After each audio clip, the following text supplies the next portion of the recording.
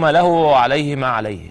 ننتظر أربعة آه، أيام ننتظر أربعة أيام. أربعة أيام بس. أربعة أيام تفصلنا عن انتخابات الاتحاد الدولي. كل مسؤول يعني مسؤول النادي الأهلي لو عنده حاجة مهندس محمود طاهر المستشار مرتضى منصور أي أستاذ عمر هريدي أي حد يعني عنده أزمة أو عنده مشكلة ينتظر آه، بس يعدي هنا بريدة آه، انتخابات الاتحاد الدولي وبعد كده كله يطلع الفواتير ويحاسب زي ما يحاسب. لأن بقول لكم بأكد لكم تاني انتخابات الاتحاد الدولي كرسي المهندس هاني أبو ريدة الدورة دي صعب جدا المشهد معقد جدا.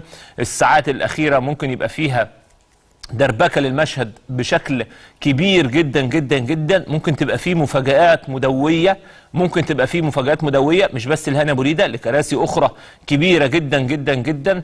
في مساندة كبيرة العالم كله بينتظر الانتخابات دي. أنا بقول أهو كلام واضح وصريح. على أي مسؤول؟ وأنا ذكرت أسامي معينة محمود طاهر أو مرتضى منصور أو أي حد أو أي واحد ليه خلاف أو ليه مصلحة أو مؤيد أو معارض مع اتحاد الكره هدي نفسك أربع أيام.